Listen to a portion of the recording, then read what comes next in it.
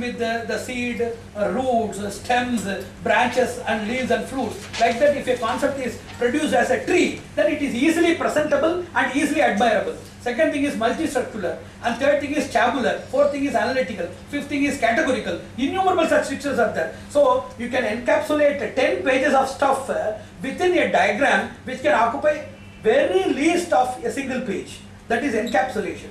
And uh, the third thing is animation or vivification. What is vivification? If you are studying script which is lifeless, if you are seeing mere figures which are lifeless in script and in other pictures of your contextual textbooks, you have to imagine that they are moving. Your script should drive it.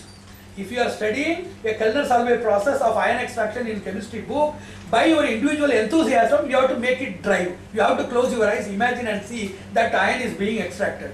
It is very hard. Nobody, no idiot will be interested in imagining about the extraction of iron unless the person is personally tuned to be a chemist. Most of the people studying as a punishment, studying as an unavoidable menace included in the syllabus is different from studying by a person who is meant for that process.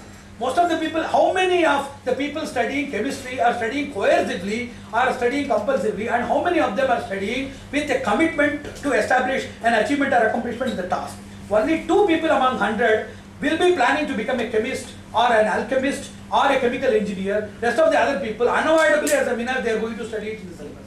This is common in mathematics and all other educational tools. That is the problem. Whereas in vivification, the process of multimedia, it is not giving you the burden of self-imagination or auto-driving. It drives the same thing like it is being given inside, it is being molten inside and the same thing flows out and these are all the chemical equations and these are all the results. So everything instead of giving the burden, it is like sitting inside the car and carrying the luggage on our head. Whereas in multimedia, it takes us and also carries our luggage inside the dicky. So this is the greatness of multimedia wherein we are having vivification instead of demanding our own inbuilt intellectual courage to imagine all of these movements, it makes us to envision the movements automatically by which very simply like a feather lift and a casual cool drink entry, it gets inside our intellectual realm or moral region by which we are capable of understanding the certain things very easily. As these three things are there, it is known as alluration, it attracts us, it makes us to get inside the classroom.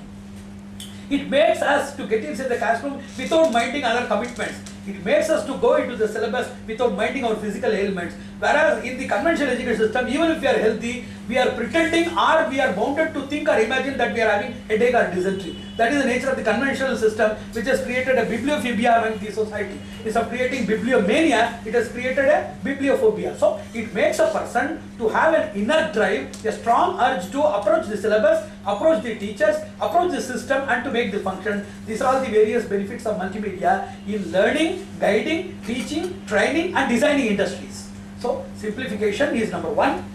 And uh, the second thing is encapsulation. The third thing is vivification, auto runner. The fourth thing is alluration, which is the benefit of all of these various things. Now, we have to understand some basic thing. I've already represented about few treatises, about traditional treatises about Chitrakala Shastra. Somebody should take initiative to publish that. I've already told that. One, it deals with the basic shape of a person or structure.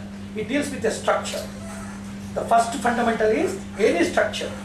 Then the structure is mixed with uh, color and context. Then it is described with uh, emotion, expression and environments. And this is the basic study. If you don't understand these principles naturally, instead of studying them in books, you have to understand and experience uh, emphatically with characteristic, contextual and environmental identity. You have to learn that. So, taking a structure, understanding the motion of the structure based on lighting, lighting backgrounds, coloring or chromatic designing, which is based on context and contextual environment and environmental expressions. This is the hierarchy of understanding these principles. This hierarchy has resulted in innumerable industries. One is drawing industry, second is painting industry.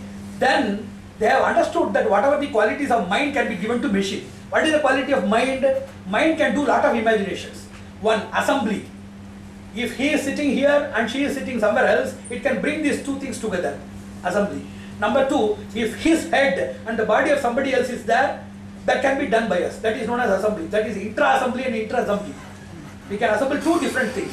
Then convert technology. What is convert technology? You can close your eyes and imagine that you are wearing a white shirt, green shirt, you can do anything. In a modern dress, in a traditional dress, everything you can imagine inside. There is an inner imaginary industry by which a person can be shaped, a person can be designed, and uh, if a person is so much anonymous, you can even imagine an anonymous person. It is there in gynecology also. You imagine your child and do deep meditation and penance. You can have the reflection of the resemblance of the image in your child. Likewise, there are a lot of people dreaming about their various other relativities, dreaming about various other connectivities of life. It is known as uh, base imagination or vacuum imagination.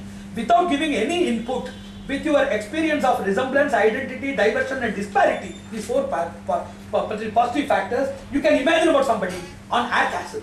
That is known as fertile imagination.